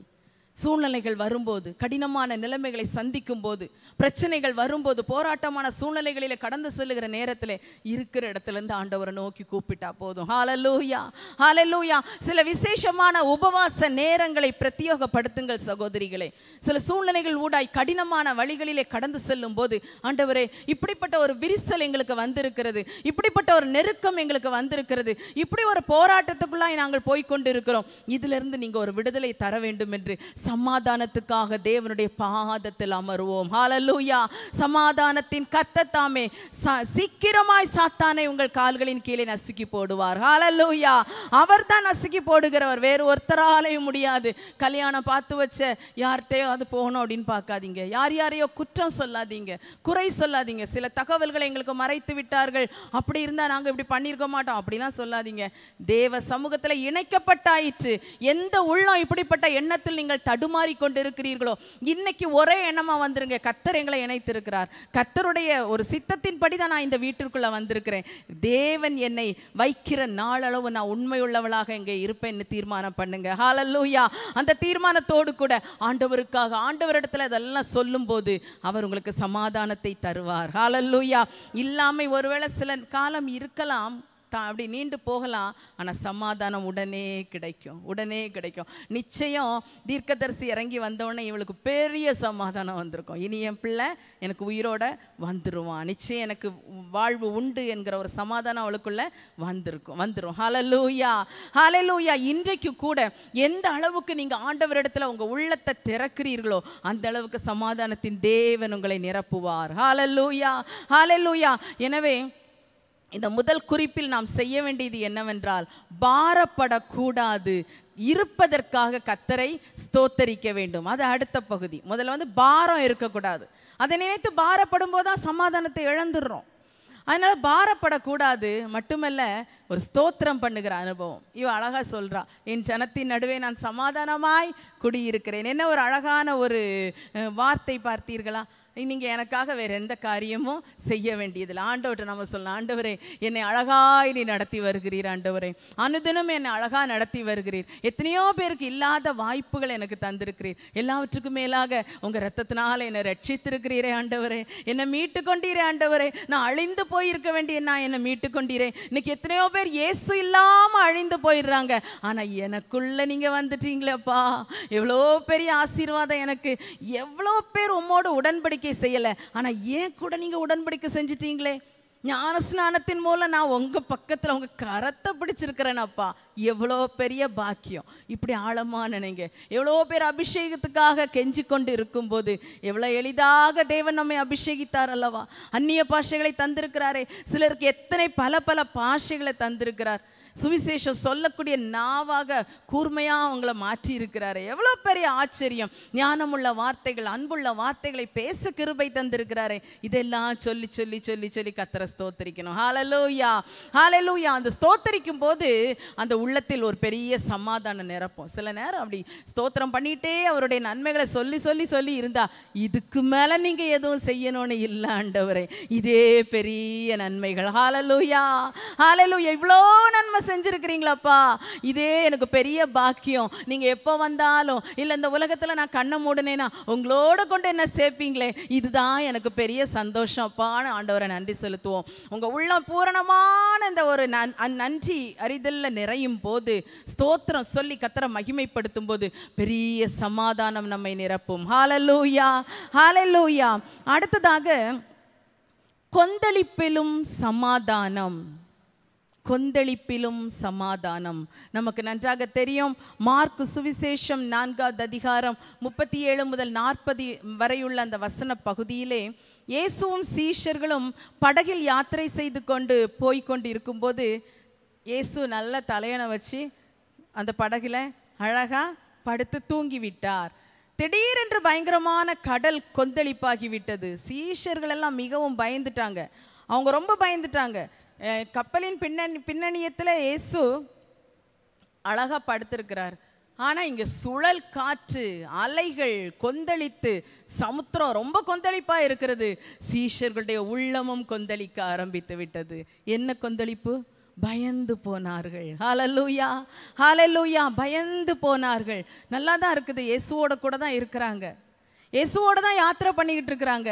ஆனா இயேசு நித்திரையா இருக்கிறார். அவரும் ஒரு மனுஷகுமாரனாய் வந்ததனால் அவருக்கும் சரீரத்தில் களைப்பு உண்டு. இளைப்படைந்தவராய் தாகமாய் இருக்கிறேன் என்று சொன்னார். பசியாய் இருந்தார் அவர் ஒரு சராசரி மனிதனாய் இந்த உலகத்தில் வந்திருந்தபடினால் அவரை அவருக்கும் நித்திரை அழகாக படுத்துட்டார். ஒருவேளை சீஷர்கள் அவரோட பேசிக்கொண்டே இருந்திருந்தா தூங்கி இருக்க மாட்டாரா இருக்கலாம். சீஷர்கள் சில நேரம் சந்தேகம் கேட்பாங்க. இந்த ஓமை இப்படி சொல்றீரே ஆண்டவரை இது என்ன அப்படிலாம் கேட்பாங்க. என்ன என்ன நடந்தது என்று தெரியவில்லை. இயேசு நல்ல நித்திரையை அடை நித்திரையா இருக்கிறார் தூங்கி கொண்டு இருக்கிறார் சீஷர்கள் கொந்தளிக்கிற இந்த சூழ்நிலையில் அகப்பட்டு கொண்டார்கள். அவங்க எதுவுமே நினைச்சு பார்க்கல. அதுக்கு முன்னால எவ்வளவு அற்புதங்களை பார்த்திருக்கிறார்கள். அதையெல்லாம் நினைக்கல. அவ்வளவு அற்புதம் செய்த இயேசு தான் நம்மோடு இருக்கிறார். இன்னொன்று அவ்வளோ தண்ணியெல்லாம் கொந்தளித்து வந்தாலும் முதல்ல படகு கொஞ்சம் கொஞ்சமாக நிரம்பும் போது இயேசுவுக்கு தான் ரொம்ப பாதிப்பாக இருக்கும். அதையும் அவங்க நினைக்கல. அவர்களுடைய உள்ளம் இந்த காற்றையும் கடலையும் பார்த்து அவர்கள் மிகவும் பயந்து விட்டார்கள். இயேசுவை போய் ஓடி எழுப்புறாங்க. முப்பத்தி எட்டாவது வசனத்தில் படிக்கிறோம். அவரை எழுப்பி போதகரே நாங்கள் மடிந்து போகிறது உமக்கு கவலை இல்லையா? என்றார்கள். நாமும் சில நேரம் இப்படி பேசிடுறோம்ல. இயேசு என்னை கவனிக்கவே மாட்டேங்கிறார். நான் ரொம்ப வேதனைப்படுறேன். என்ன நான் ரொம்ப நெருக்கப்படுறேன். எவ்வளோ கொந்தளிப்பாக இருக்குது. கடன் கடன் வாங்கிட்டேன். ஏதோ என்னுடைய சூழ்நிலையினால கடனுக்குள் அகப்பட்டு கொண்டேன். ஆனால் பயங்கரமான கொந்தளிப்பாக இருக்கிறது. ப அதனுடைய நெருக்கம் எனக்கு ரொம்ப அதிகமாக இருக்குது. நான் ஆண்டவர்கிட்ட கேட்டுட்டே இருக்கிறேன். இது வரைக்கும் ஆண்டவர் உதவி செய்யல. ஆண்டவரே நீர் பார்க்காமல் இருக்கிறீரே ஆண்டவரே. சங்கீதக்காரன் சொல்கிற மாதிரி நீ சும்மா இருக்கிறீரே ஆண்டவரே. நீர் மௌனமாக இருக்கிறீரே ஆண்டவரே. எனக்கு செவி கொடுக்கலையே ஆண்டவரே என்று சொல்லி சில நேரத்தில் வியாகுலப்படுகிறோம் அல்லவா? சமாதானத்தை இழந்து துக்கப்படுகிறோம் அல்லவா? கவலைப்படுகிறோம் அல்லவா? கலங்குகிறோம் அல்லவா? சில நேரத்தில் சில வேலைகளை முடிக்க வேண்டிய ஒரு அவசரங்கள் இருக்கும். நாம் சும்மா இருந்தாலும் சில டார்கெட் அச்சீவ் பண்ணணும் அப்படின்னு சொல்லுவாங்க வேலை செய்கிற பிள்ளைங்க. சில ப்ராஜெக்டை கம்ப்ளீட் பண்ணணும் அப்படிம்பாங்க. சில கோலை வந்து எட்டணும் சாதிக்கணும் அப்படின்னு சொல்லுவாங்க. இதே போல் நம்முடைய வாழ்க்கையிலும் குடும்ப வாழ்க்கையிலே தனி வாழ்க்கையிலே இல்லை நம்முடைய காரியங்களில் சில சில இலக்குகளை வைத்திருப்பீர்கள். இந்த வருஷத்தில் இதை நான் செய்யணும் இன்னும் ரெண்டு வருஷத்தில் இந்த காரியத்தை செய்யணும். இந்த பிள்ளைகள் கொஞ்சம் வளர்ந்து வர நேரத்திலே நான் ஒரு வீடு கட்டிடணும். ஏன்னா நல்லா வளர்ந்துட்டாங்கன்னா அப்புறம் அவங்க படிப்பு காரியங்களை நான் கவனிக்கணும். அது அதற்கு நான் பணம் செலவு பண்ணணும். அதனால் இந்த ஆரம்ப நாட்களை நான் செய்யணும். இத்தனை வருஷம் சில சில இத்தனை வருஷம் பிளான்ஸ் வச்சுருப்பீங்க. அப்போ அதை நீங்கள் எட்டும்படி முயற்சிக்கும் போது அதை செய்யும்படி நீங்கள் நினைக்கும் போது பல குறைபாடுகள் சில இல்லாமைகள் அதனுடைய சூழ்நிலைகள் வரும்போது எல்லாம் உங்களுக்கு ஒரு கொந்தளிப்பாக இருக்கும். இப்படியே போனால் நான் என்ன செய்வேன்? இப்படி இருந்தால் நான் எப்படி ப செய்வேன்? சில கடன் காரியங்கள் சில லோன்ஸ் இருக்கலாம். நீங்கள் லோன் எடுக்கக்கூடாது என்பது தெரியும். என்ன தெ- என்ன தெரிந்தாலும் சில சந்தர்ப்பங்கள் வரும்போது முக்கியமான சில காரியங்களுக்காக எடுத்துவிட்டு அதை கட்ட முடியாமல் நீங்கள் கஷ்டப்படலாம். அன்பான தேவ பிள்ளைகளை நம்ம கட்டாமல் இருக்கும்போது கொந்தளிப்பு வெளியே பயங்கரமாக இருக்க தான் செய்யும். பல வார்த்தைகள் பேசுவார்கள். சில நெருக்கங்கள் உங்களுக்கு நேரிடலாம். ஆனால் அந்த நேரத்திலே ஆண்டவர் என்ன விரும்புகிறார்? கப்பலில் தான் அவர் இருக்கிறார். ஆனால் அடித்தட்டில் நித்திரையாயிருக்கிறார். இருக்கிறார் ஹாலலூயா அவரை எழுப்ப வேண்டும். அவரிடத்துல கேட்க வேண்டும். சீஷர்கள் அந்த பதட்டத்தில் போய் கேட்குறாங்க நாங்கள் மடிந்து போகிறது உமக்கு கவலை இல்லையா? ஆண்டவரே இந்த கடனில் நான் மூழ்கி போகிறது உமக்கு கவலை இல்லையா? என்று கேட்டது போல. கேட்குறீங்களா அப்படி? அப்படி கேட்குறீங்களா ஆண்டவர்கிட்ட? ஆண்டவரிடத்துல போய் கேட்கணும் சீஷர்கள் கேட்டாங்க ஆண்டவரே என்று சொல்லி அவரை எழுப்பினார்கள். அவரை எழுப்பினார்கள். நான் என்ன செய்யறது தினம் நான் ஒவ்வொரு நாளும் ஒவ்வொரு ஞாயிற்றுக்கிழமை ஆராதனைக்கு போகிறேன். பைபிள் ஸ்டடிக்கு போகிறேன். ஜெபங்களுக்கு போகிறேன். ஆண்டவருக்கு தெரியாதா? என்னுடைய நிலைமை ஆண்டவருக்கு தெரியாதா என்று இருக்கிறீர்களா? சீஷர்கள் அப்படி நினைக்கவே இல்லை. அவர் படுத்திருக்கிறாரே இவர் மேலே தண்ணியே பட்டிருக்காதா? இவர் மேலே தானே முதல்ல பட்டிருக்கோம். அவங்க எதையுமே யோசிக்கல. அவர் போய் எழுப்பினார்கள். ஹalleluya ஹalleluya மிக அருமையான ஒரு செயலை செஞ்சாங்க. உடனே ஏசு எழுந்து காற்றை அதட்டி கடலை பார்த்து இறையாதே அமைதலாயிரு என்று கட்டளையிட்டார். ஹalleluya ஹாலலூயா என்ன ஒரு அவசரத்துல மனதுல நீங்க இருக்கிறீங்க? வேலைக்கு போகிறவர்கள் இருக்கலாம். சில காரியங்களை செய்து முடிக்க வேண்டியது இருக்கலாம். அப்போ அந்த நேரங்களிலே சில நேரம் நமக்கு டைம் பிந்திக்கிட்டே போகும். ஐயோ நான் போகணுமே. அதே ஒரு பெரிய பதட்டமாக இருக்கும் மனசில். அதே ஒரு கொந்தளிப்பாக இருக்கும். அந்த மாதிரி நேரங்கள்லையும் கொந்தளிக்க நீங்கள் இடம் கொடுத்தீங்கன்னா ரொம்ப உடம்பெல்லாம் ரொம்ப கஷ்டமாயிரும். அந்த நேரம் நீங்கள் மடமடன்னு சாப்பிட்டுட்டு வெளியே போனீங்கன்னு வைங்க. பலருக்கு அது ஒத்துக்கிடவே செய்யாது. உடனே தலைவலி வரும் வாந்தி வரும் ரொம்ப கஷ்டங்கள் எல்லாம் வரும். அப்போ அந்த பதட்டம் சமாதானமின்மை நம்ம எவ்வளவு க- சஞ்சலப்படுத்துகிறது பார்த்தீர்களா? அதுக்கு நான் ப்ராக்டிக்கலாக ஒரு சின்ன டிப் நான் சொல்லி தர்றேன். இந்த மாதிரி அவசர நேரம் காலை நேரத்தில் பிள்ளைகளை ஸ்கூலுக்கு அனுப்பணும் கணவனை வேலைக்கு அனுப்பணும் ஒருவேளை நீங்களும் சிலர் வேலைக்கு போகலாம் இல்லை வீட்டிலேருந்து ஏதாவது சில காரியங்கள் செய்வீங்க உங்களுக்கும் சில காரியங்கள் இருக்கும். அப்போ அப்படி அவசரமாக இருக்கும்போது மனது அவசரப்படுற அளவுக்கு சரீரம் ஒத்துழைக்கவே செய்யாது. நேரம் குறைவாக இருக்கும். மனசு ரொம்ப அவசரப்படும். இது முடிக்கணும் இது முடிக்கணும். ஐயோ இந்த இவ்வளோ நேரம் ஆயிடுச்சு நான் இன்னும் இதை செய்து முடிக்கலையே. இப்படியெல்லாம் அவசரப்படுவோம். நம்மளால் செய்ய முடியாது. கை கால் உதறும். தப்பு தப்பாக தூக்கி சமையலில் மாற்றி மாற்றி எதையாவது போடுவோம். இப்படியெல்லாம் செய்வோம் சில நேரத்தில். ஆனால் அந்த நேரம் என்ன பண்ணணும் தெரியுமா? அவசரம் வந்துருச்சா? உடனே கொஞ்சம் ஸ்தோத்திரம் பண்ணுங்க. சில நேரம் ஸ்தோத்திரம் பண்ணும்போதே ஸ்தோத்திரமே ரொம்ப ஆத்திர ஆத்திரமாக வர ஆரம்பிச்சிடும் என்ன பண்ணணும் அப்படின்னா கொஞ்சம் வசனத்தை சொல்ல ஆரம்பிங்க. இது ரொம்ப எளிமையான விஷயம். யாரெல்லாம் வசனம் நிறைய படிச்சிருக்கீங்களோ நீங்கள் பாக்கியசாலிகள் பாக்கியவதிகள் அந்த நேரத்தில் வசனம் ஒவ்வொன்றா சொல்ல ஆரம்பிங்க. ஒரு இருபத்தி மூணாம் சங்கீதம் தான் ஆரம்பத்தில் நினைக்கிறேன் நான். அப்போ நம்ம ஃபஸ்ட்டு படித்தது அதுதான். அந்த இருபத்தி மூணாம் சங்கீதம் தொடங்கி தொண்ணூத்தோரா சங்கீதமா நூறாம் சங்கீதமா பதினஞ்சா இருபத்தி நாலா இப்படிலாம் நிறைய சங்கீதங்கள் இருக்குது இல்லையா? நிறைய படிச்சிருப்போம். இந்த வசனங்களெல்லாம் சொல்லிக்கிட்டே இருங்க. உங்கள் கான்சன்ட்ரேஷன் அப்படி வசனத்துக்கு நேராக போகும். இன்னொன்று வசனத்தை பற்றி உங்களுக்கு நல்லாவே தெரியும். அந்த வசனம் நம்மை சுத்திகரிக்கிற வசனம் மட்டுமில்ல. அந்த வசனம் சமாதானத்தினால் நிரப்புகிற வசனம். ஹalleluya ஏன்னா தேவன் தந்த வார்த்தை அவர் சமாதான கர்த்தர் நான் திரும்ப திரும்ப திரும்ப அதை சொல்ல விரும்புகிறேன் சமாதான கர்த்தர் தந்த வார்த்தை அது சமாதானம் நிரம்பி இருக்கும். அப்போ ஒவ்வொரு வசனத்தையும் நம்ம சிந்தித்து ஒன்றுனா சொல்லிக்கொண்டே இருக்கும்போது சமாதான நதி போல் நம்மை பாய்ந்து நிரப்பும். ஹalleluya யாருக்கு இந்த பாக்கியம் கிடைக்கும்? நமக்கு தான் கிடைச்சிருக்குது. ஹalleluya கடினமான பாதைகள் எல்லாருக்கும் கிடைக்கும் எல்லாருக்கும் உண்டு. ஆனால் அதன் நடுவில் சமாதானமாக இருக்கும் பாக்கியம் நமக்கு மட்டும்தான் கிடைக்கும். ஹாலலூயா இன்றைக்கு மன நோய் உலகத்தில் பெருகி கொண்டு போகிறது. மனநோயாளிகள் பெருகி கொண்டிருக்கிறாங்க. மனநோயாளினா யாரோ பிறந்து வந்தாங்கன்னு நினைக்காதீங்க. இல்லை உங்களுக்கு இப்போ தெரியும். சில நேரம் நீங்களே நினைப்பீங்க இப்படியே எனக்கு இன்னும் ரெண்டு நாள் போச்சுதுன்னா நான் ஒரு பைத்தியம் ஆயிடுவேன் ஏறக்குறை இப்போமே அரை பைத்தியமாக இருக்கிறேன். இன்னும் முழுசாயிருவேன் நீங்களே சில நேரம் ஃபீல் பண்ணியிருப்பீங்க வேற ஒன்றும் இல்லை. அவசரமாக இருக்கும்போது தான் இப்படி அப்படி தானே அப்போது இந்த அவசர நேரத்தில் நம்ம ஸ்தோத்திரம் பண்ணுறதோட சேர்த்து அந்த வசனங்களை சொல்லும்போது மிக ஒரு சமாதானம் பெருகும். ஹாலல்லூயா ஆட்டோமேட்டிக்காக வேலையெல்லாம் அழகாக நடக்கும். ஆவியானவர் நம்மை ஆளுகை செய்வார். சமாதானத்தின் தேவன் ஆளுகை செய்வார். மட்டுமல்ல அபிஷேகம் பெற்ற தேவ பிள்ளைகள் அந்நிய பாஷை பேசிக்கொண்டே இருக்கணும். நல்ல ஸ்தோத்திரம் பண்ணி அந்நிய பாஷைகளை பேசிக்கிட்டே இருக்கணும். சாதாரணமாக வேலை செய்யும் போதும் நல்லா பாடிக்கொண்டு வேலை செய்யுங்க. ராகம் இருக்குதோ இல்லையோ தாளம் இருக்குதோ இல்லையோ சில நேர வார்த்தைகள் சில பாடல்கள் நமக்கு நினைவில் நல் நல்லா இருக்கும். அந்த பாட்டை பாடி பாடி பாடி இருங்க. உண்மையா நீங்க அதை பாடி பாடி வேலை செஞ்சீங்கன்னா வேலையும் எளிதா நல்லா போயிட்டே இருக்கும். கொஞ்ச நேரத்துல ஆவியானவர் உங்களை நிரப்ப ஆரம்பிப்பார். நீங்க ரெகுலரா பாடி பாருங்க சமையல் பண்ணும்போதோ என்ன வேலை செய்யும் போதோ உங்களை அறியாம தேவ பிரசன்னம் நிரம்பும். ஏன்னா ஸ்தோத்திர பலியிடுகிறவன் என்னை மகிமைப்படுத்துகிறான். தன் வழியை செவ்வைப்படுத்துகிறவனுக்கு தேவனுடைய ரட்சிப்பை வெளிப்படுத்துவேன். அதுல என்னன்னா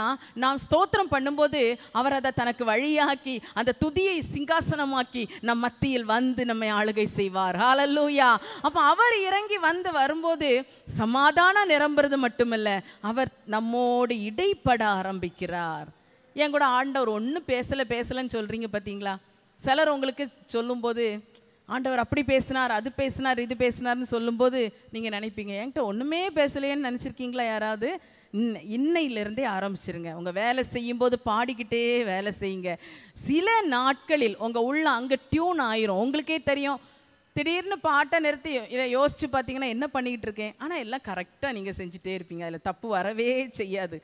ஏன்னா எதையோ நினச்சிட்டு நம்ம வேலை செய்ய தானே செய்கிறோம் அப்போ ஏன் பாடிக்கிட்டே வேலை செய்யலாம் இல்லையா?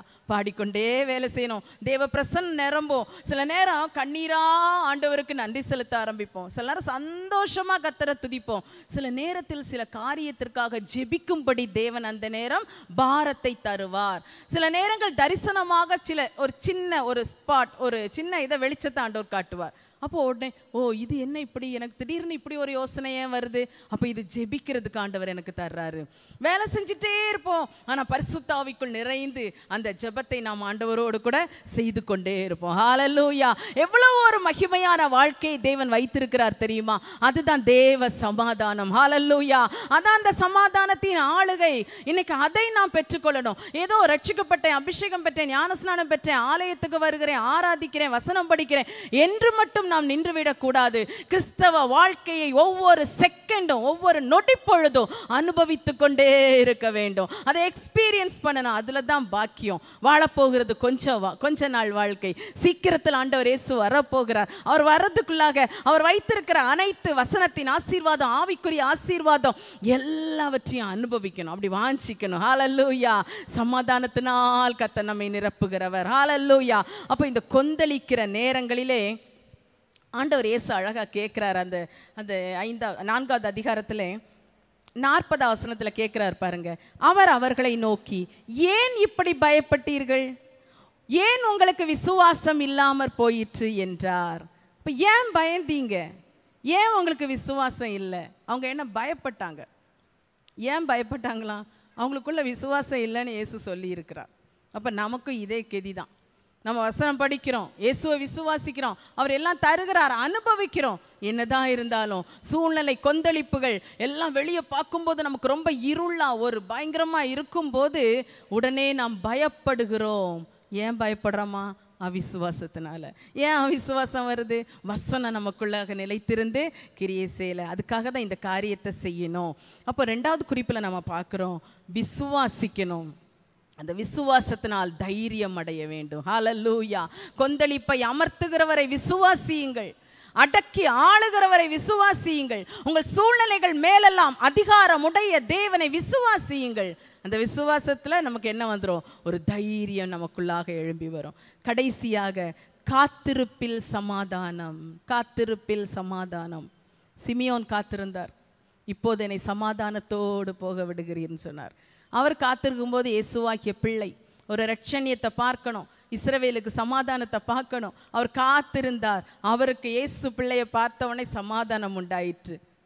அப்போ அவர் சமாதானத்தின் தேவன் காத்திருப்பிலும் சமாதானம் தருகிறார். இன்னைக்கு நிறைய பேருக்கு காத்திருப்பு காலம் என்பது உண்டு. உண்மையாகவே தேவ பிள்ளைகளுக்கு எப்போவுமே காத்திருப்பு காலம். முதல் காத்திருப்பு என்ன? இயேசு வருவார் வருவார் எப்போ வருவார் எப்போ வருவார் எப்போ வருவார்? பல நேரத்தில் ஞாபகம் வராது. ஒரு கஷ்டம் ஒரு நெருக்கம் கடினமான சூழ்நிலை வந்த உடனே எசுவே சீக்கிரமாய் வாருமப்பா அந்த உலகத்தின் பாடுகளை என்னால் தாங்க முடியவில்லை ஆண்டவரேன்னு சொல்லுவோம். அப்படியாவது ஒரு நினைவு வருகை குறித்து வருது. அப்போ வருகைக்காய் காத்திருக்கிறோம். இயேசுவின் வரவுக்காய் காத்திருக்கிறோம். அவர் வருவார். வருவேன் சொன்னீங்களா ஆண்டவரே? வருவேன் சொன்னீரே. இப்போல்லாம் நிறைய துரு உபதேசங்கள் வேற்று உபதேசங்கள் கள்ள உபதேசங்கள் பெருகி கொண்டே வருகிற காலத்தில் என்னென்னவோ பேசுகிறாங்க இதெல்லாம் கேட்கும்போது மனதில் ஒரு தள்ளாட்டம் வரக்கூடாது. வசனத்தை நல்லா வாசிங்க. வசனம் வாசிக்கணும். வேற ஒன்றும் இல்லை. அதுதான் வாழ்க்கையின் முக்கியம். எவ்வளவோ செய்திகளை கேட்போம். எவ்வளவோ காரியங்களை பார்க்கிறோம். நமக்குள்ளே சில உணர்வுகள் எழும்பும். வசனத்தை நன்றாக படிக்கும்போது கத்துடைய வார்த்தையாகிய கண்மலையின் மேல் நம்முடைய அஸ்திபாரம் திடனாய் போடப்பட்டிருக்கும் போது தேவ சமாதானம் நம்மை நிரப்பும். ஹாலல்லூயா எந்த துருபதேசங்களை நம்மை ஒன்றுமே செய்ய முடியாது. ஏனென்றால் சமாதானத்தின் கத்தர் ஒரு சமாதானத்தின் சுவிசேஷத்தை நமக்கு தந்திருக்கிறார். இதை நாம் வாசித்து அவருக்குள்ளாக பலனடையும் போது சமாதானம் உள்ளவர்களாய் நாம் ஜீவிக்க முடியும். ஹாலல்லூயா ஹாலல்லூயா இந்த காத்திருக்கிற நாட்களிலே பல சோர்வுகள் வந்துரும். சந்தேகங்கள் வந்துரும். சில காரியத்துக்காக காத்திருக்கும் போது அப்படிதான்.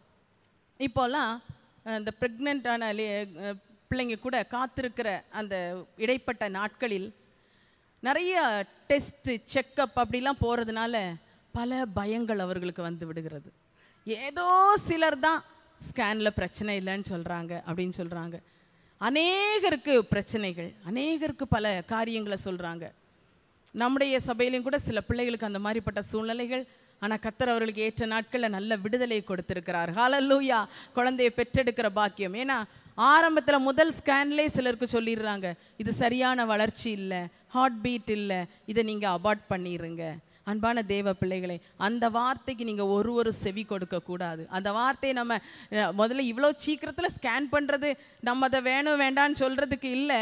ஆனால் அந்த நாட்களில் சொல்லப்படுகிற அந்த வார்த்தை குறித்து கலங்காதிருங்கள். நம்முடைய சபையில் அப்படி ஒரு பிள்ளைக்கு இப்போ சமீபத்தில் சொல்லி இருந்தது. ரொம்ப கலக்கத்தோட வந்தா ஜெபிக்கும்போது அந்த ஜெபித்து விட்டு அந்த பிள்ளைகிட்ட தைரியப்படுத்தி விட்டோம். நீ இதெல்லாம் ஒன்றும் யோசிக்காதம்மா. இனி இப்போ நீ உடனே ஸ்கேன் பண்ண போக வேண்டாம். கொஞ்சம் வெயிட் பண்ணு. ஜோம் பண்ணுவோம். ஆண்டவர் இதை உனக்கு ஆசீர்வாதமாக்கி தருவார். அப்படின்னு சொல்லும்போது அவ சொன்னா எங்கள் அப்பா அம்மாலாம் அப்படி தான் சொல்லியிருக்கிறாங்க. அப்போ எல்லாருக்கும் ஒரு தைரியம் சரி கத்த செய்வார். அவ்வளோ காத்திருந்த ஆண்டோர் கிருபையினால் அழகா ஒரு குழந்தை பெண் குழந்தை ஆண்டோர் கொடுத்தாரு. பெற்றெடுத்து சபையில் கொண்டு வந்து கத்தரை மகிமைப்படுத்த கத்தர் உதவி செய்திருக்கிறார். ஹாலல்லூயா ஆனால் சிலருக்கு இப்படிப்பட்ட வார்த்தைகள் நாம் கேள்விப்படுகிறோம். அன்பான தேவ பிள்ளைகளே இந்த காத்திருப்பின் நாட்களிலே வருகிற இப்படிப்பட்ட வார்த்தைகளை குறித்து பயப்படாதிருங்கள். ஆண்டவர் சமூகத்தில் கொண்டு வைங்க. உங்களோட ஜெபிக்கிறவர்கள் உங்கள் ஊழியர்கள்ட்ட சொல்லி அதை பகிர்ந்து கொண்டு அவர்களோட சேர்ந்து ஜெபம் பண்ணுங்க.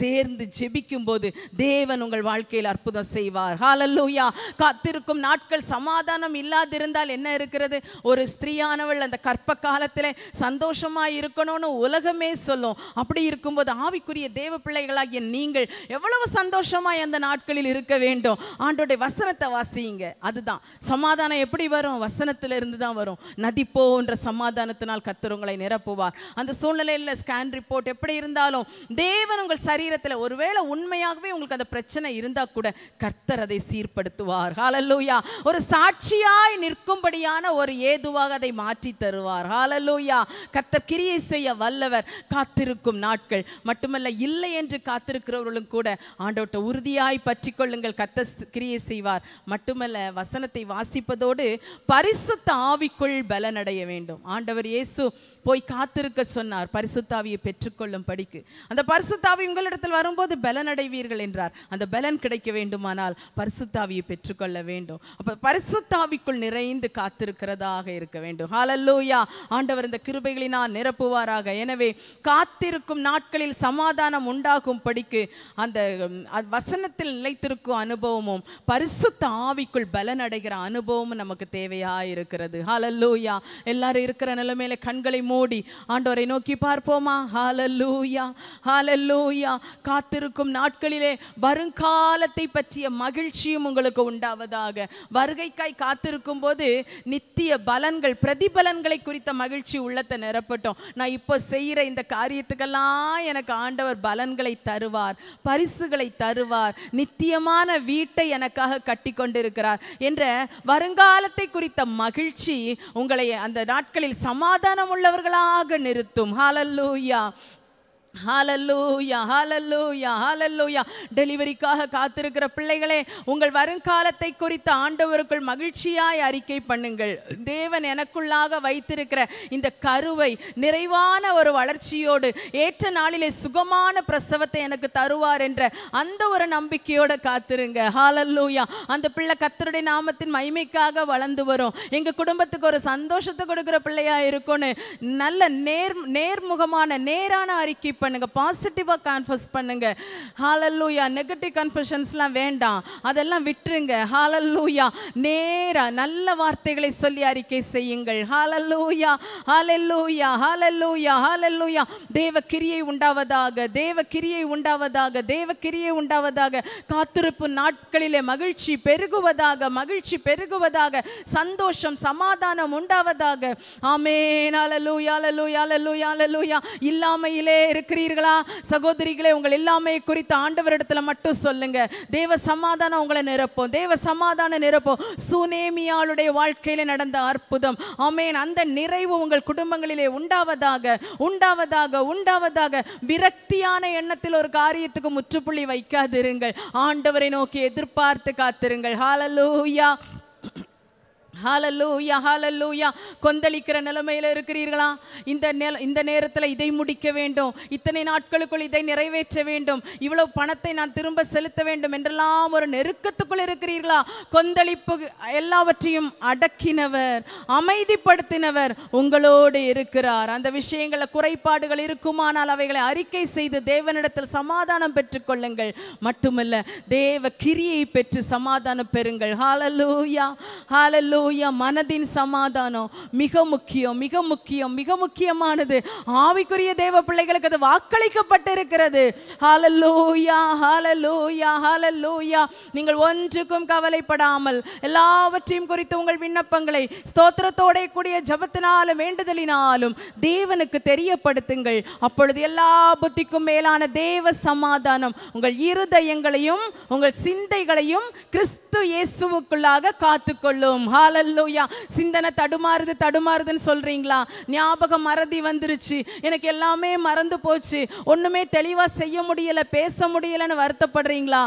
ஹalleluya குறைவுகள் எல்லாவற்றையும் ஆண்டவர்கிட்ட சொல்லுங்க. கவலைகளை எல்லாம் அவர் மேல வைத்து விடுங்க. ஹalleluya கவலைகளை எல்லாம் ஜெபங்களா கன்வெர்ட் பண்ணிருங்க. கவலை எல்லாம் தேவனிடத்துல பேசிருங்க. தேவனிடத்துல பேசுங்க. எல்லா புத்திக்கும் மேலான தேவ சமாதானம். நீங்க நினைச்சு பார்க்காத தேவ சமாதானம் உங்களை நிரப்பும். ஹalleluya தீபலரதனமோ ஷபலபோரியால பலபரபதனமோ கமோரியாந்தலனமா அந்நிய பாஷைகளை பேசி கத்தரோடு கூட ரகசியங்களை பேசுவோம் உங்க வாழ்க்கை குறித்த ரகசியங்களை பேசுவோம்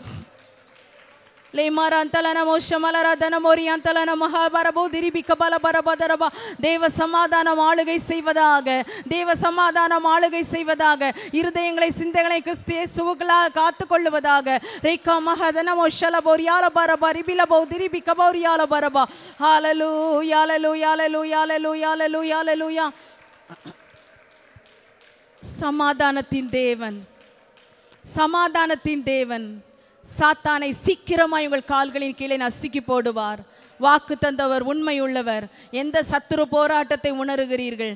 எந்த இடத்துல நீங்க எதிர்ப்பை உணர்றீங்க? சமாதானத்தின் தேவன் அங்க நிக்கிறாரு. சீக்கிரமா உங்க காலின் கீழே உங்க காலின் கீழே சாத்தான நசுக்கி போட போறார். ஆலல்லூயா உங்க பாதங்களின் கீழே அவனுடைய கிரியைகளை அடக்கி போட போகிறார். ஆலல்லூயா நீங்க எழுந்து நிற்பீர்கள். ஏசு கடலின் மேல காற்றையும் கடலையும் அதட்டி அவர் எழுந்து நின்றார். அவர் எழுந்து நின்று அதட்டினார். அவர் இன்று நம்மோடு இருக்கிறார். ஆலல்லூயா அலைகள் அனைத்து அனைத்தும் உங்கள் பாதங்களின் கீழ் அடங்க அடங்க போகிறது. அடங்க போகிறது. அலைகள் அனைத்தும் உங்கள் காலின் கீழே. உங்கள் படகின் கீழே. ஆமேன் ஆமேன் ஆமேன். ரபா ஷபா பாபா ரிபிலி ஹத்தரா துனமா ரபோ ஷரபோ ரியாலபா. ஹாலலூயா இருதயமும் சிந்தையும் எப்போது தேவனோடு இருக்கட்டும். உலக காரியத்தை போட்டு போட்டு அலசி கொண்டு இருக்காதீங்க. எட்டாத காரியங்களை நினைத்து அலசி கொண்டு இருக்காதீர்கள். அனித்தியமான பாவ சந்தோஷத்தை குறித்து கண்களை அப்படியே பறக்க விட்டு மனதை சு- அப்படியே சுற்ற சுற்றி சுழல விடாதீர்கள். அது தேவனுக்கு பிரியம் அல்ல. எதை வைத்து உங்கள் உள்ளத்தை அலசிக்கிட்டு இருக்கிறீங்களோ எதை வச்சு உங்கள் உள்ளத்தை சுழட்டி சுழட்டி யோசனை பண்ணிக்கிட்டு இருக்கிறீங்களோ அதுதான் உங்களை நிரப்பும். அங்கே அந்த இடங்களெல்லாம் செக் பண்ணி ஆண்டவரை விசுவின் அன்பினால் நிரப்புங்க. வசனங்களினால் நிரப்புங்க.